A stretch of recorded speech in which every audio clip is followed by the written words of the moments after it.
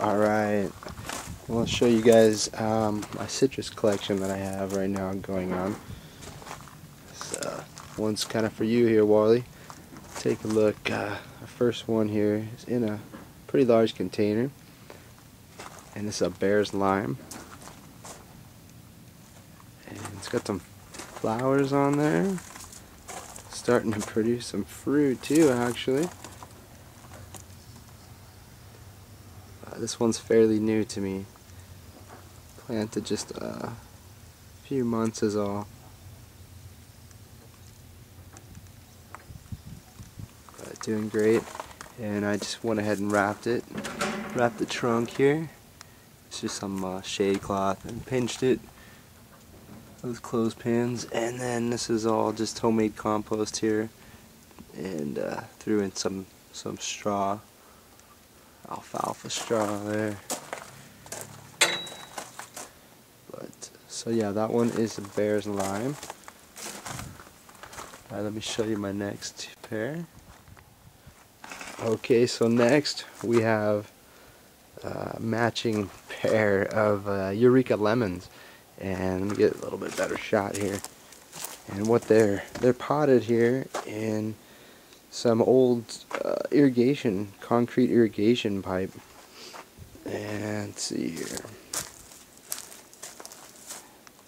So Eureka lemon.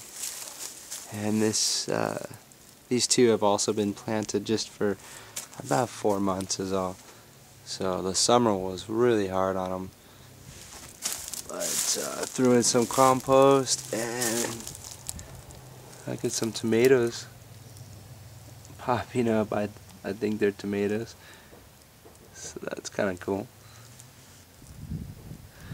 But it hit like 30 degrees last night, so it's just fun to look at. They're not gonna last, you know. But so and Eureka is supposed to be ever bearing, you know, so it bears constantly from what I what I've read, um, a little bit. I think it's it's a little bit more frost tender than the Meyers and the Lisbon. I think the way in order of uh, I don't know the ones you have to protect more are um, probably this one Eureka, and then the Lisbon, and then Meyers. I believe is the most frost hardy.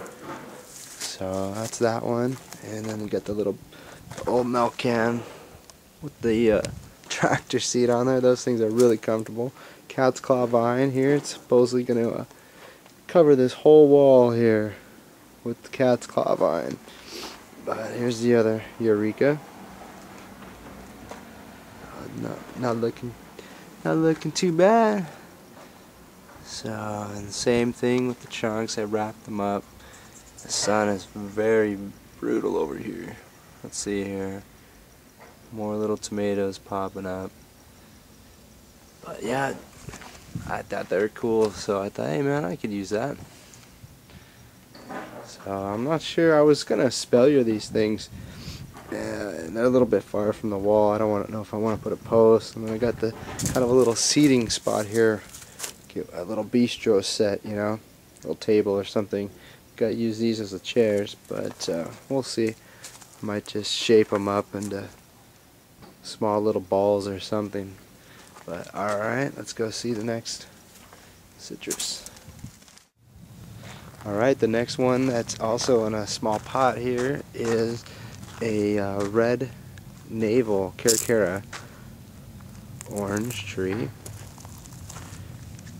and also just been planted for a short time about three or four months.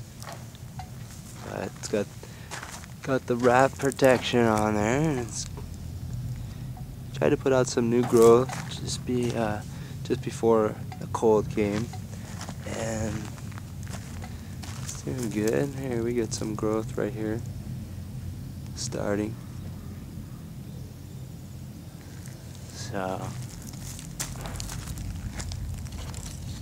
let's see here. Yeah, red navel.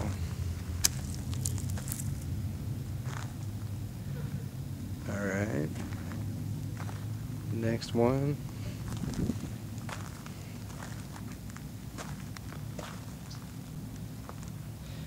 And this one is also in a container. This is a uh, Trovita orange.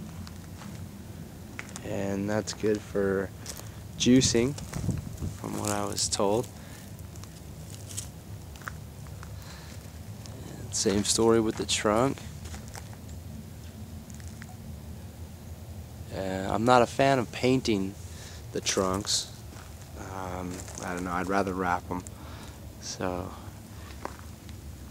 there you go. Trovita orange. Okay, next one. Alright, this one is a, um, a uh, Mexican lime. Dwarf Mexican lime. And yeah, it looks like a skeleton right now. But uh, it's coming back. It's leafing out a little bit here and there. But uh, yeah, the summer got it. It just, uh, it got hit really hard. So we'll see if this one makes it. Uh, this one, these guys are really, they don't like the cold as much. So we've got to cover it when it gets really cold. And we got, uh, we got pretty cold last night. I didn't cover it. So I'm just going to kind of see what it does. But, uh, so yeah, Mexican lime. Uh, those real small ones. Alright, next tree. Alright, don't mind the hose there, but uh, this one is a uh, Valencia. Valencia orange tree. And got a cluster here. Should probably thin that out a little bit. But, uh, some leaf curl going on.